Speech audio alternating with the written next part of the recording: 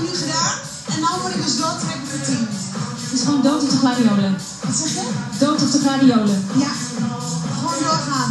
Ik weet dat ik uiteindelijk vanavond een keer in mijn bed lig. Dus gewoon doorzetten en dan kom ik er mezelf. En dan tot tien. Is er nou nog een gedachte dat je als je er bijna doorheen zit, los van dat bed, dat je denkt, ik denk even aan die of aan dat of aan een bijzonder doel of wat Ja. sleep je erdoor? Nou, het- ik was benieuwd wat dat zou zijn, maar dat is sowieso echt mijn gezin. Dus mijn man en mijn twee kinderen heb ik echt de, de allerzwaarste momenten, ik denk de laatste 20 uur, alleen maar aan gedacht. En ik had ook gezegd, mama komt thuis of met de hoofdprijs of met een brancard. Eh, dus ik kon het niet, ik kon het niet opgeven.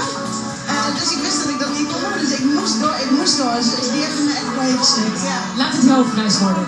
Succes, succes!